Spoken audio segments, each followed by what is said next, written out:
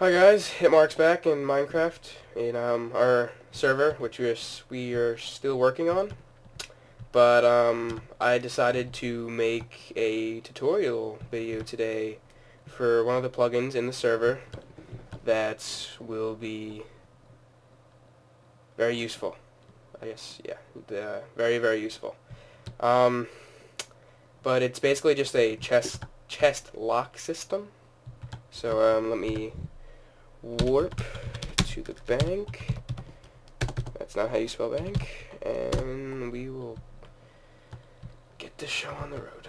Um, okay, well as you can see here, that that is what it will look like, but I'll get come down here and show you. Uh, good. Okay, go down. Alright. I already had Dylan set up a chest so I could show you guys and as you can see it says private in his name so if I try and open it it says you do not have permission to open this container. And everyone's probably saying but can't you just destroy it? You cannot break a container claimed by Go for the Knees so it, it works really well um, doesn't let but Dylan can open it. Thanks for there you go okay yeah bye Dylan.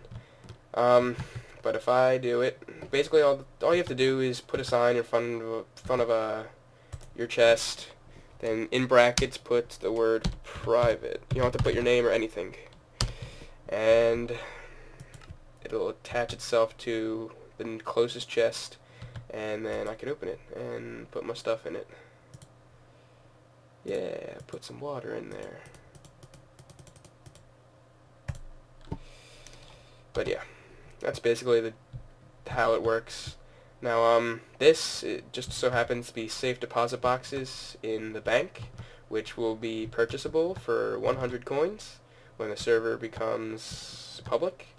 So, uh, yeah, you might want to reserve a spot and get yourself a safe deposit box.